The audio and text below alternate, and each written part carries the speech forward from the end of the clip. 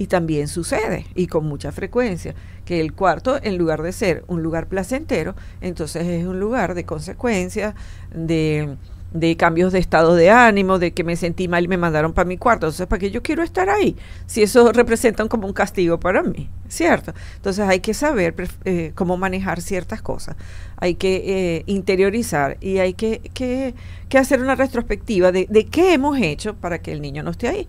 Ok, le, le ponemos, lo decoramos como el niño quiere, le permitimos que tenga juegos allí y comenzamos la rutina, ¿verdad? Un, un plan de intervención pequeñito, cortico, por aproximadamente sucesivas, no es de rompe, hoy duermes allí en tu cuarto y te queda, no, porque eso no va a funcionar, al contrario, eso va a generar un gran rechazo. Entonces, eh, comienzas el acercamiento poco a poco. Eh, puedes, eh, no, no, lo dejes oscuro totalmente, déjale una luz tenue, a lo mejor una musiquita, lean un cuento, algo que para mí es extremadamente importante que ustedes estén en, el, en la habitación del niño cuando él se va a dormir no significa que ustedes se metan en la cama. Con mi niño. Con el niño. Lo he visto, sí. Están repitiendo, lo que cambiaron fue de lugar, pero están repitiendo el mismo patrón. Cuando usted se para, el niño se despierta.